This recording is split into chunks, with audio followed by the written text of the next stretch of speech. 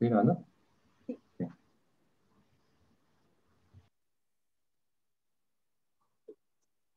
Bien. Bueno, empiezo la clase con, es la primera del módulo, del tercer módulo de Toco Ginecología. Le tocaron dar los temas de anatomía y malformaciones congénitas, histerosalpingografía, miomas, adenomiosis, malformaciones arteriovenosas uterinas y eh, DIU. Empezamos por anatomía. Tenemos que los órganos genitales internos femeninos son eh, útero, trompas, ovarios y vagina. El método de elección que vamos a, usar para estudiarlos en primer término va a ser la ecografía. Para hablar de útero, lo nombramos como un órgano muscular hueco en forma de pera, dividido en dos porciones principales, el cuerpo y el cuello. El cuerpo eh, corresponde a los dos tercios superiores, que se encuentra entre las capas del ligamento ancho y es, eh, móvil. Comprende dentro del cuerpo el fondo, que sería la porción porque está por encima de los orificios, orificios de las trompas, el istmo, ah, perdón, los cuernos, que son las regiones superolaterales por donde entran las trompas, y el istmo, que es la región relativamente estrecha del cuerpo, de aproximadamente un centímetro de longitud. Y por debajo el cuello, que sería el tercio inferior, también estrecho, de forma cilíndrica, separado de vejiga por tejido conectivo y separado de recto por el fondo de saco recto uterino o fondo de saco de Douglas, o de Douglas. Eh, así veíamos un, DL del útero por una ecografía eh, digamos, suprapúbica, y ahí tenemos una imagen donde nos muestra el, cómo se vería en una ecografía transvaginal o endocavitaria. Una de las cosas que hacemos cuando vemos la, ecografía ginecológica es ver la histerometría, la histerometría externa, obviamente, ¿no? Donde medimos el diámetro transverso, en ese sentido, el diámetro longitudinal y el diámetro anteroposterior. Las medidas promedio que vamos a encontrar en las mujeres en edad eh, reproductiva es de 6 a 8,5 de DL. Eh, uh, perdón, estoy diciendo mal. Eh, de DT. De DT de 3, de 3 a 5 centímetros. Ahora sí, de DL de 6 a 8,5 y diámetro anteroposterior de 2 a 4 centímetros. Para mujeres multíparas vamos a encontrar valores que son un poco más, un poco más, más altos. Y en prepubres nos van a dar el de DL 2 a 4 centímetros. En la posición dijimos que era un órgano móvil y vamos a hablar de anteversión cuando el ángulo que forme el cervix con vagina sea de 90 grados o, este, o sea más cerrado, o sea un ángulo menor. Retroversión hacia atrás. Cuando hablamos de flexión, en este caso en el dibujo nos muestra la anteflexión, nos referimos a la angulación que hay el cuerpo con el cervix, o sea, endocervix con endometrio. Anteflexión y retroflexión hacia atrás lo más frecuente de ver es la anteversoflexión, que de hecho lo tenemos en la planilla y lo modificamos de, ser necesario. Acá vemos una, ecografía donde vemos el útero en anteflexión, que lo vemos así porque la vejiga no está replesionada. De estar la vejiga replesionada, que es como hacemos el, estudio ecográfico, el útero estaría eh, estiradito o rectificado hacia atrás. Lo mismo, pero endocavitario. Y estos dos ejemplos, también suprapúbico y endocavitario, de un útero en retroflexión. Varía también con, como dijimos, la represión de la vejiga o el recto, y también pues, eh, podemos encontrar que esté desviado hacia la derecha o a la izquierda, que son variantes normales, salvo que haya una masa que condicione.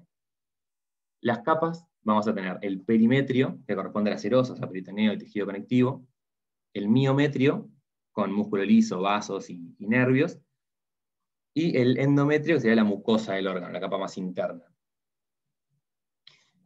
En cuanto al endometrio, mm, vamos a ver que tenemos una fase, eh, digamos, durante la menstruación, los primeros 4 o 5 días, una fase proliferativa precoz hasta el día 9, más o menos. Proliferativa tardía es antes de la ovulación, eh, del 10 al 14, y una fase secretora después de la ovulación de 15 a 28 en un, en un ciclo de 28 días. En la fase de menstruación y proliferativa precoz, por ecografía vamos a ver el endometrio como una línea ecogénica fina, sobre todo en los primeros días del, ciclo, donde vamos a ver básicamente sobre la membrana eh, la capa basal.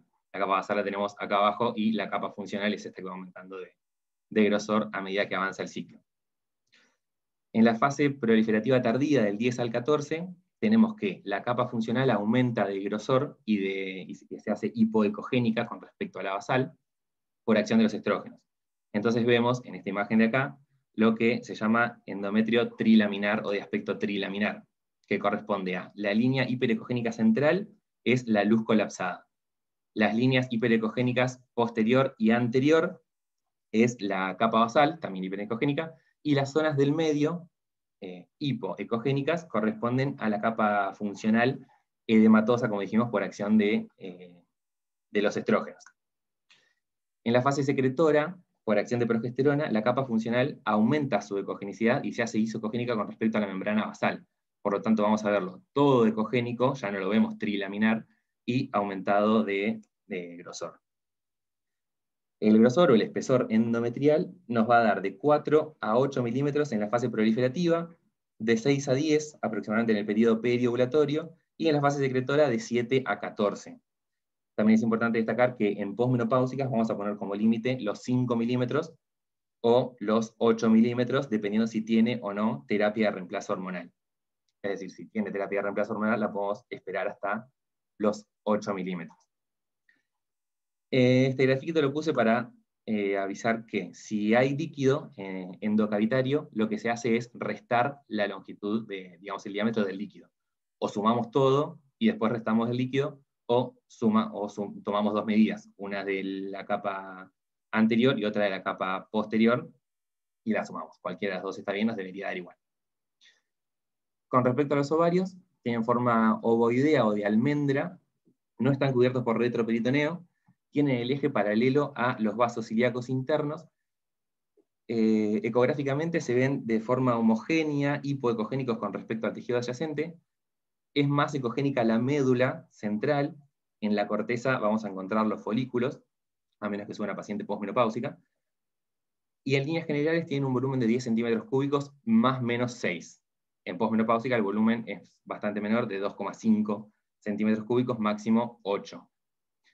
Para ubicarlo, si bien varían mucho de posición, eh, tenemos como, a ti, parámetro. ¿Cómo? Aceptar a Juli, aceptar a Juli, perdón. A ver. Ahí está. Ahí va. Eh, gracias, creo. Bueno, le, decíamos que si bien varían de, posición y ubicación dentro del, abdomen, podemos usar como referencia la fosa ovárica en nulíparas, limitado hacia posterior por uréter y arteria ilíaca interna, hacia lateral la vena ilíaca interna y hacia anterior los vasos ilíacos externos o la arteria umbilical obliterada. Eh, dentro del ciclo lo que podemos llegar a ver son los cambios en los folículos, eh, en los ovarios y en los folículos, donde vemos en la menstruación folículos de menos de 5 milímetros, hacia el día 10 comienza a dominar un folículo sobre los otros, acercándose al día 14, o sea, a la ovulación, vamos a encontrar que nos puede dar un folículo dominante de 20 a 25 milímetros, más el ovocito maduro, que lo vemos como un área eh, pseudoquística hiperecogénica. Pasado el día 14 ya dejamos de ver el folículo lo vemos como cuerpo lúteo. De anatomía me pareció que no iba a destacar nada más, sí recomiendo la clase de Belén del año pasado, donde da mucho, mucho más detalles. Con respecto a la histerosalpingografía, decimos que es una técnica radiológica que nos sirve para evaluar la cavidad uterina y las trompas de falopio. Generalmente se usa para evaluar las causas de esterilidad, de esterilidad femenina. Se usa inyectando contraste endocavitario y después se usa la radiografía para evaluar todo lo que es la cavidad, la luz de las trompas y el pasaje o no a cavidad peritoneal. Este estudio tiene indicaciones, como son el estudio de la infertilidad femenina primaria o secundaria, como veníamos diciendo, mujeres con abortos a repetición, diagnóstico de sospecha de anomalías uterinas, para localizar masas uterinas o adherencias, como estudio previo a una miomectomía, o para comprobar la permeabilidad eh, de, las trompas, de las trompas de falopio y la morfología después de alguna cirugía o cuando se considere necesario. Es una técnica no exenta de riesgos, como alergia al contraste iodado, alergia a los fármacos que se usen durante el estudio, infección de vagina, útero o trompas, y, si bien es raro, perforación de la pared vaginal, cuello, eh, cuello uterino, útero, trompa de falopio. Con todo esto, tenemos que tener en cuenta contraindicaciones en las cuales no vamos a poder hacer el estudio, como alergia al contraste iodado, menstruación o sangrado vaginal, embarazo y lactancia, e infección activa del tracto genitourinario. Necesitamos para hacer el procedimiento, con todas las medidas de asepsia, paños estériles para crear el área aséptica en la paciente, guantes estériles, gasas para limpieza y la desinfección vaginal, espéculo, lubricante urológico, un adaptador cervical, pinzas largas, jeringas de 50 y 100 centímetros cúbicos y contraste hidrosoluble. Eh, estaba en la bibliografía, yo no roté por rayos, pero decía que el liposoluble no se puede usar porque puede generar embolias a nivel de la retina o de los pulmones. Y obviamente, bueno, protección radiológica tanto para nosotros como para la paciente. La paciente se pone en posición eh, ginecológica, se toman primero una radiografía simple de pelvis, es decir, antes de inyectar el contraste, para poder identificar calcificaciones, fibromas o masas líquidas. Eh, se procede a la desinfección, se coloca el espéculo, se coloca la sonda, tenemos eh, sonda de tipo, sondas tipo balón o sonda tipo campana, lo cual se, usa en el servicio, la sonda balón, bueno, sonda balón, bueno, se, se infla el balón para que quede reaccionado endocavitario, reaccionado no, es sujeto endocavitario. Se coloca el contraste con la jeringa y al mismo tiempo se puede hacer una ligera tracción para rectificar el útero. En una histerosalpingografía normal eh, vamos a ver varias proyecciones. Acá tenemos eh, las principales serían la, una, una placa con represión uterina total, una con proyección oblicua y otra donde deberíamos ver el contraste ya en, retro, en retroperitoneo, no, en peritoneo. La histerosalpingografía anormal, eh, podemos encontrar un defecto de, de ah, ya estábamos acá, y acá vemos el defecto de represión, en este caso de una mujer con pólipos, adherencias intrauterinas, que también sería parte de defectos de, de relleno, trastornos del desarrollo y alteraciones morfológicas, en este caso, bueno, vamos a verlo más adelante, este sería un bicorne, eh, obstrucción de las trompas, una de las causas de, infertilidad femenina. Acá la flecha en realidad está marcando la trompa que es permeable, esta es la que, está impermeable. Eh, presencia de hidrosalpings con aumento del diámetro de la luz. Adenomiosis, en este caso es adenomiosis focal, siempre en contacto con la cavidad de endometrio, y en este caso es difusa. Eh, esto cuando vemos así se llama signo de Dionisi. No sé si es importante, pero me acordé y lo nombre. Y otros como un embarazo ectópico, lesiones traumáticas o cuerpos extraños. En cuanto a malformaciones congénitas, el dibujo lo que está mostrando es, a grandes rasgos, lo que sería la cresta urogenital, formado por el mesonefros, eh, que es uno de los tres sistemas renales en embriología que involucionan en la mujer, y las gónadas. Acá el dibujo lo que, está mostrando es el cordón urogenital que está formado por el, o sea, que contiene el conducto mesonéfrico y el conducto paramesonéfrico. El conducto mesonéfrico es el conducto de Wolf, va a dar el epidídimo y conductos eyaculadores, en este caso no nos interesa, va a involucionar en la mujer. El paramesonéfrico es el conducto de Mueller que va a dar trompas, útero y dos tercios superiores de vagina, en que nos vamos a centrar hoy. Bueno, ya que estamos, dibujito para entender de dónde viene el meso urogenital, el meso ovario y el meso salpings. Hacia la séptima semana lo que vamos a ver es el, el conducto paramesonéfrico en la mujer se va acercando su porción distal hacia la línea media para fusionarse eh, con el contralateral. El mesonéfrico o el conducto de Wolf va a ir involucionando y los dos desembocan en el seno urogenital hacia la octava semana se van fusionando, lo que conducen a el conducto uterino, digamos, la fusión de los dos conductos de Wolf va a dar con el conducto uterino. Y hacia el tercer mes ya está diferenciado lo que es trompa, útero y eh, parte de vagina. Y el conducto eh, mesonéfrico de Wolf a esta altura ya está atrofiado. Un esquema donde muestra de dónde proviene cada uno de los segmentos de genitales femeninos decía, trompa y útero del conducto de Wolf, eh, perdón, de Müller. Vagina está formado tanto por el conducto de Müller con el, eh, por el seno urogenital, el ligamento redondo, el conducto de Wolf atrofiado y el himen en la porción distal de vagina. Para el proceso embriológico tenemos que tener en cuenta, para entenderlo, lo que sigue, la formación o la organogénesis, que son de las estructuras que veníamos comentando. La fusión sería de del conducto de Müller con conducto de Müller contralateral, que sería la fusión lateral, y del conducto uterino, o sea, que se formó recién, con el tubérculo mülleriano, que es desde el seno urogenital, con la fusión vertical. Y la reabsorción de los septos formados en el paso anterior.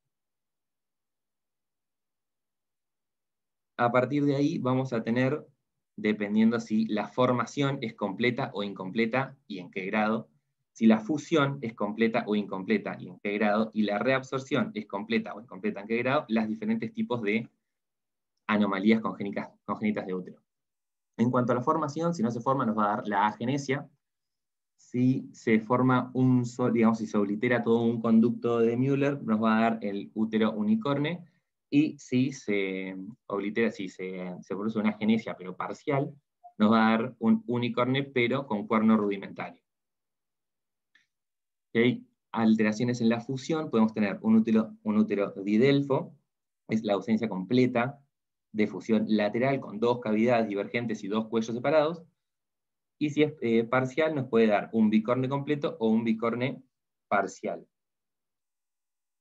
Con respecto a la reabsorción, nos va a dar un septado completo, si hay ausencia total de, reabsorción, septado, eh, sí, septado parcial, tiene una ausencia de reabsorción y parcial o incompleta justamente, y el arcuato que tiene una mínima falta de reabsorción del septo, de la, de fusión lateral, que en la bibliografía decía que era controversial porque podría considerarse una variante de la normalidad. Esta es la clasificación más usada para hablar de alteraciones congénitas uterinas, hecha por la Sociedad Americana de Fertilidad, donde habla de agenesia o hipoplasia parciales, unicorne, didelfo, bicorne, septado, arcuato, y asociados a dietil etilvestrol, que tengo entendido que ya no se usa más, pero puede dar algunas malformaciones eh, en, mujeres que, en mujeres embarazadas. Muy rápido, esto es un ejemplo de resonancia con agenesia. Obviamente lo que no vemos es útero y vagina. Esta es una paciente con síndrome de Rokitansky, que es la agenesia de útero y la porción superior de vagina. Esta es una resonancia magnética, también un sagital, en T2, donde muestra hipoplasia, y un estudio con histerosalpingografía que muestra un, también, es una hipoplasia uterina, que muestra un útero disminuido de tamaño. El unicornio dijimos que era la falla en la organogénesis o en la formación, que puede ser completo o incompleto. Lo más frecuente es que sea incompleto y, que esté presente el cuerno rudimentario.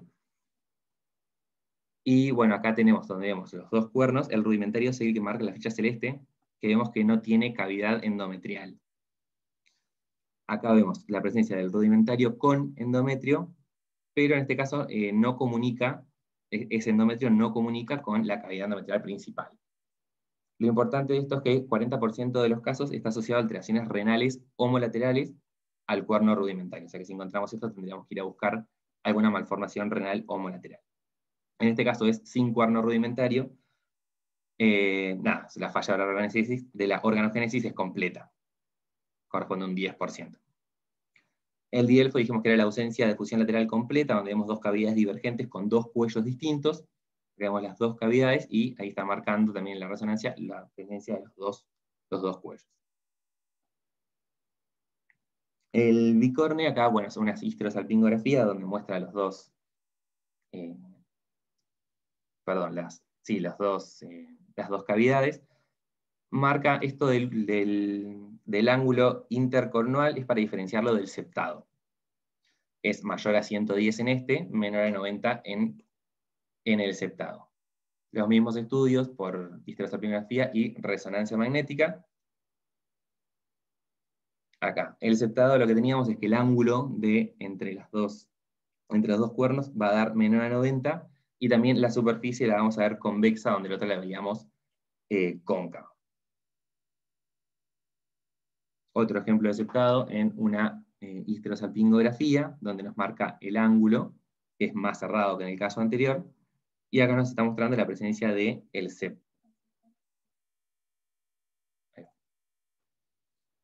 Bien. Mati. El A4. ¿Qué pasó? Aceptar, aceptar Juli Jefa. Ah, ahí, ahí acepté. Gracias, Greg. El AR4, donde vemos bueno, histerosalpingografía y una resonancia magnética. Esto es el que les había dicho que podría considerarse como una variante de la normalidad. No trae ninguna complicación eh, en fertilidad y demás, o sea, es asintomático. Lo único que tiene es que es una cavidad con un fondo plano o convexo, o sea que la reabsorción es casi completa. Ah, y el asociado al dietil, a- ah, dietil etilvestrol, donde hay varias malformaciones, de las cuales esta es la más frecuente, que es la caveotrina en forma de T. Bien, adenomiosis. La adenomiosis en realidad es la presencia de endometrio ectópico. Tenemos a- a- endometriosis, perdón, la endometriosis es la presencia de endometrio ectópico. La externa es más frecuente en ovario, y la interna, que es la que vamos a ver ahora, o sea que en- es endometrio ectópico, pero entre los haces musculares del miometrio, es lo que se denomina adenomiosis. La podemos ver de forma difusa o de forma focal. La difusa la vamos a tener en cuenta cuando vemos un engrosamiento de la línea de unión en resonancia magnética mayor a 12 milímetros, y la focal la vamos a identificar como eh, una masa miometrial hipointensa en T2. Esta, esta adenomiosis focal también se llama adenomioma. Bueno, es una patología que va a afectar principalmente a premenopáusicas, multíparas, mayores de 30 años. Hasta en un 30% de los casos son asintomáticas, pero pueden manifestarse por sangrado, dolor o engrosamiento uterino. En resonancia magnética dijimos que lo estudiamos siempre en, en T2, o predominantemente en T2. Este es un ejemplo de un útero normal, donde vemos el endometrio hiperintenso, eh, la zona de unión, que es la que le vamos a prestar atención ahora, hipointensa, y la zona externa con una intensidad de señal intermedia. A la zona de unión le prestamos atención y vemos que en esta patología vemos la línea de unión arriba de 12 milímetros. Esto está asociado a hiperplasia de músculo liso, el engrosamiento de la línea de unión en la endometriosis interna difusa se debe a los focos de endometriosis más una hiperplasia muscular que genera que generan el miometrio. El valor normal de la línea de unión es de eh, menor a 8 milímetros. Si está entre 8 y 12, tenemos que repetir el estudio esquivando la fase menstrual. Puede haber focos eh, hiperintensos que corresponden a endometrio heterotópico o dilatación quísticas de glándulas endometriales.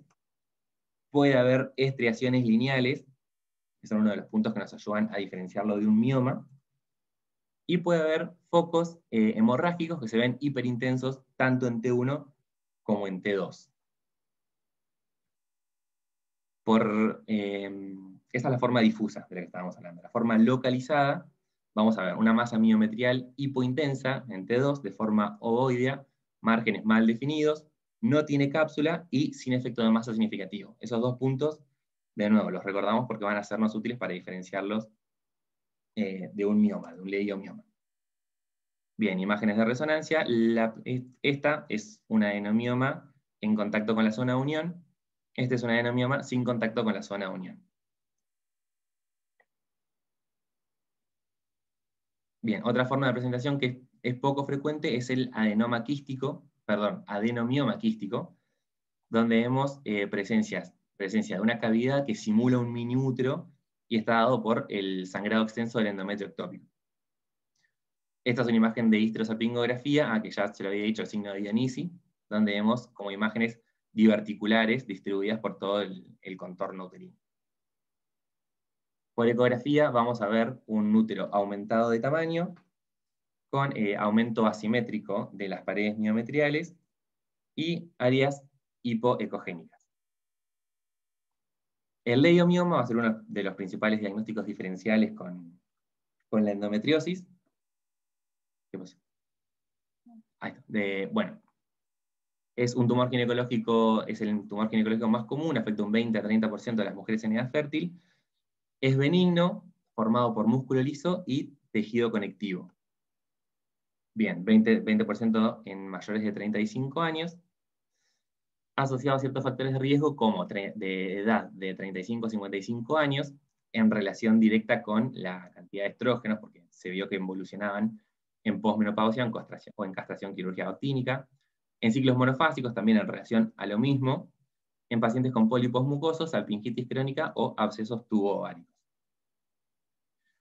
Los dividimos, según su localización, en submucosos intramurales, estos son los que nos interesan en el diagnóstico diferencial de la endometriosis, y subserosos. Va a tener cada uno unas manifestaciones clínicas predominantes sobre el resto. Los, eh, los submucosos lo que van a manifestarse es eh, por metrorragia o mioma que es la presencia de un subseroso pediculado que es expulsado a vagina por las contracciones del útero.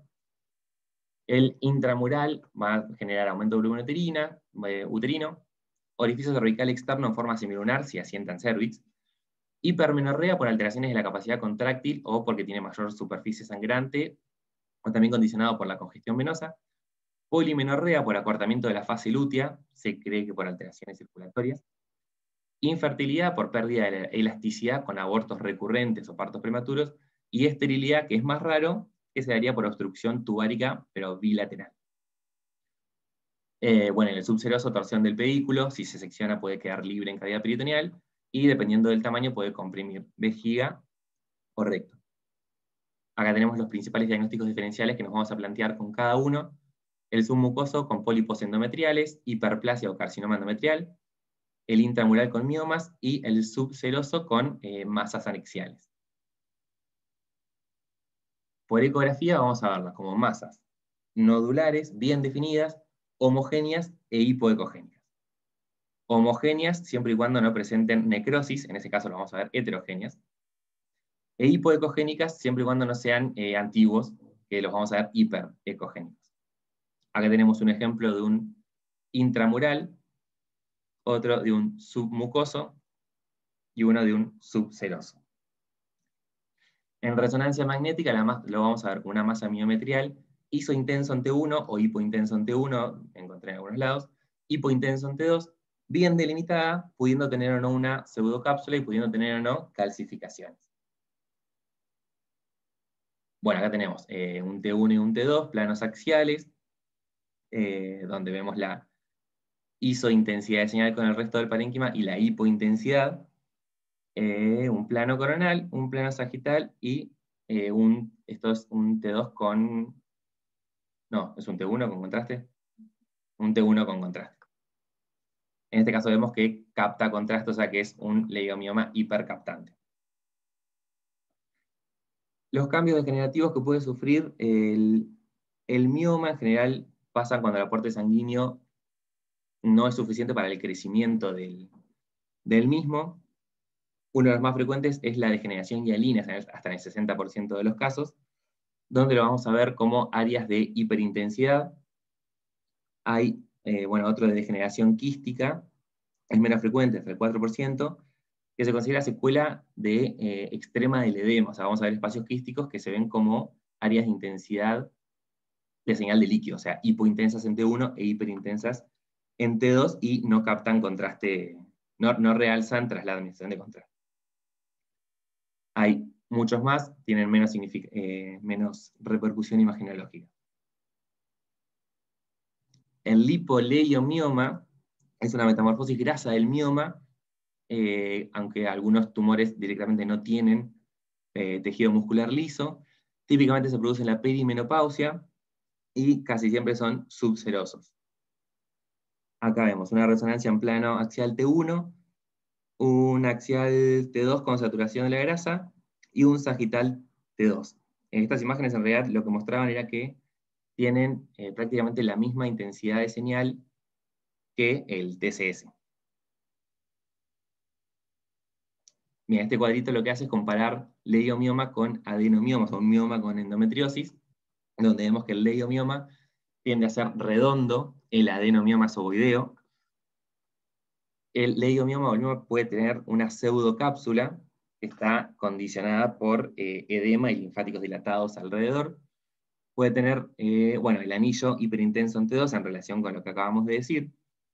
a diferencia del adenomioma que puede tener focos aislados de necrosis, eh, digamos, puntiformes dentro de, la masa, los márgenes están mejor definidos en el leiomioma y tienen una interfaz irregular o peor definidos en el adenomioma.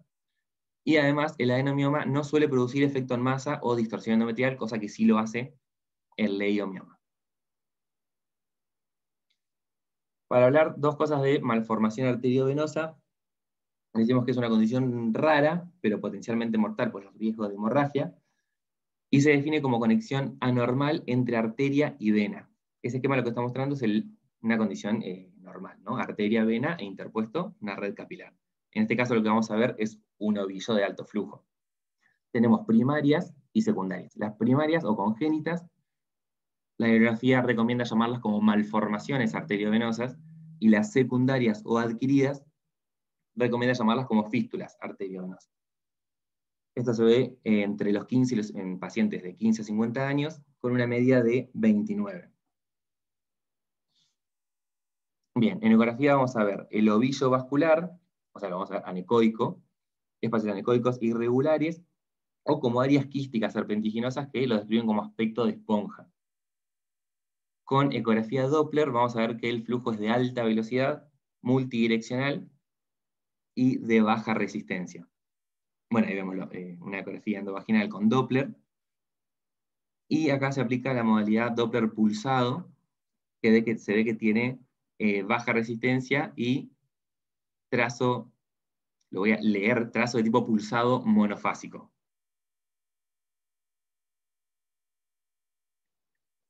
Por resonancia, áreas de vacío de señal, o sea, como vamos a ver los vasos en resonancia, y en la tomografía con contraste, espacios que captan contraste, o sea, igual que vasos del resto de la, de la anatomía. De todas formas, el gol estándar es la arteriografía.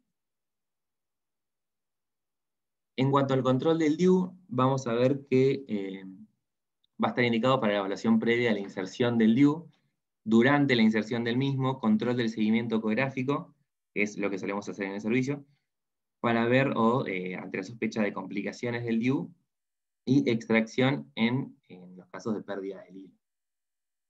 Lo que vamos a ver en ecografía es la presencia como una, línea paralela a las caras anterior y posterior uterina de más o menos 3 a 5 centímetros. Tenemos que indicar si, es endocavitario, que esté ubicado de forma central, a menos de 20 milímetros del fondo, esto no lo informamos más en, el servicio, pero bueno, había quedado en la planilla, no debe alcanzar el orificio cervical interno, si no hablamos de DIU descendido, y no mucho más.